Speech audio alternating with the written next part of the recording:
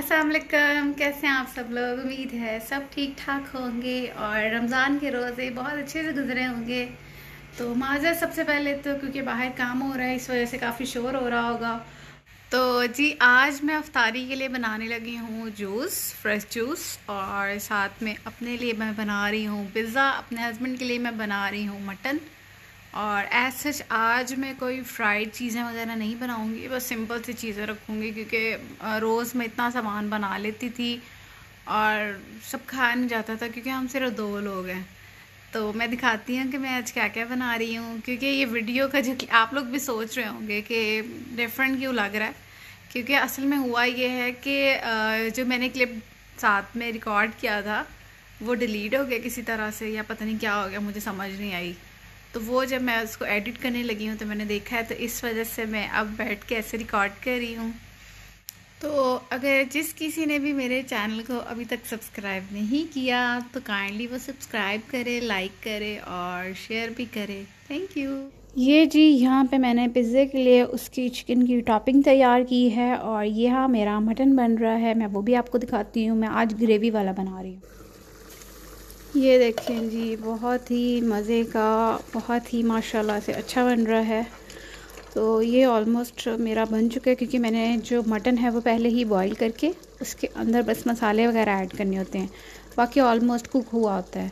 और बस मैंने वो ऐड किए हैं और इसके अंदर मैं अब धनिया वगैरह ऐड करती हूँ। ये तो मेरा डन हो गया।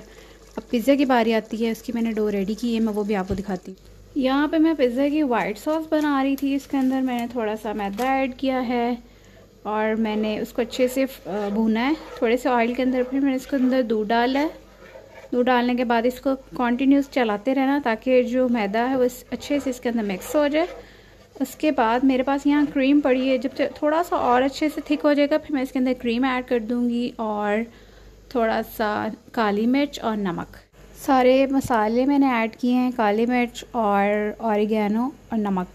ये ऐड करने के बाद टू टेबल स्पून जितनी आपने कुकिंग क्रीम ऐड कर दिया है। जब कुकिंग क्रीम ऐड करेंगे ना तो तब आपने कोई चीज़ वगैरह ऐड नहीं करनी इसकी सॉस के अंदर।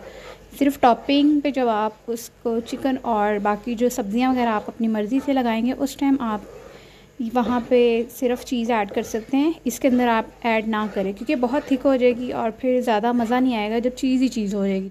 तो जी, अब बारी आती है जूस बनाने की। तो आज मैं जूस बना रही हूँ गाजर।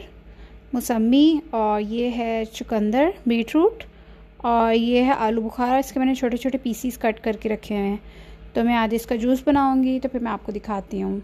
यहाँ पे मैंने जल्दी जल्दी अब फास्ट फॉरवर्ड में जूस बना लिया है और मैं थोड़ा जल्दी बना के रख लेती हूँ ताकि मुझे आइस वगैरह ऐड ना करनी पड़े और मैं वैसे ही जूस को ठंडा कर सकूँ। तो थोड़ा मैं जल्दी बना लेती होती हूँ। जी ये मेरा जूस बन चुका था तो आज मैं सोच रही थी काफ़ी दिनों बाद कि मैं टैंग और रूह अफ़ज़ा क्यों बना रही हूँ?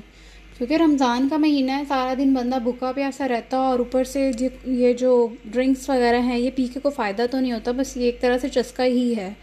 तो बंदा फ्रेश जूसेस क्यों ना पिए? तो अगर आप लोगों की तरफ़ भी, कोई घर में भी टैंग या रूह अफ़ज़ा को ज़्यादा प्रेफर कर रहा है तो इससे अच्छा बंदा फ्रूट्स खा ले या जूस वगैरह पी ले।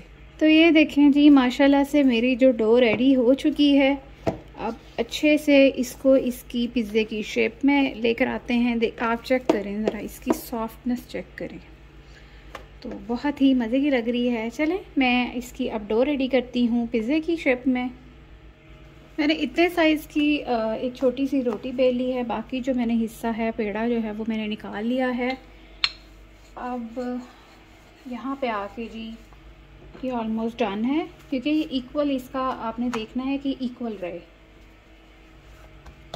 चारों साइड जो हैं वो बराबर रहें, कहीं से कोई मोटा, कोई पतला ना हो। यहाँ पे मैंने पिज़्ज़े पे अनियन चिकन ऑलिव्स और चीज़ जो है वो अच्छे से स्प्रेड करूँगी। चीज़ जो है, आज मैं जो ये स्लाइस चीज़ होती है, मैं वो यूज़ करूँगी। मोज़रेला चीज़ मेरे पास ख़त्म हुई हुई थी तो मैं इसकी ही टॉपिंग करूँगी। तो उसके बाद इसके अंदर, इसके ऊपर जो है, मैं कुछ चिली फ्लेक्स और ऑलिव जो है, मैं वो स्प्रिंकल कर दूँगी। फिर यहाँ पे अब टाइम हो गया था अफ्तारी का तो मैं जल्दी जल्दी रोटी बना रही थी और साथ में मैं चाय बना रही थी, क्योंकि अफ्तारी के फ़ौर बाद मुझे चाय चाहिए होती है। तो अवन को मैंने थर्टी मिनट्स के लिए अच्छे से गर्म कर लिया था। अब मैं जो पिज़्ज़ा है, वो बेक करने के लिए उसको अंदर रख रही थी। और मिनिमम 15 मिनट्स के बाद मैं इसको बाहर निकाल के फिर मैं आपको दिखाती हूँ। तब तक मैं फिर स्लैब साफ़ कर रही थी क्योंकि मैंने रोटी बनाई थी थोड़ा सा। उसका जो खुश्क आटा होता है वो गिर गया था। मुझे होता है मैं फ़ौर साथ साथ जल्दी जल्दी काम कर लूँ ताकि बाद में मैं लेज़ी ना हो जाऊँ। यहाँ पे जो पिज़्ज़ा था वो अच्छे से बेक हो चुका था। माशाल्लाह इतनी खुशबू आ रही थी। तो ये मैं यहाँ पे स्लाइस खा रही थी और एक हाथ से मैं इसको वीडियो क्लिप कर रही थी। बहुत सॉफ्ट बना था। आप लोग भी ज़रूर ट्राई करें और मुझे, मेरे चैनल को सब्सक्राइब और लाइक ज़रूर करें।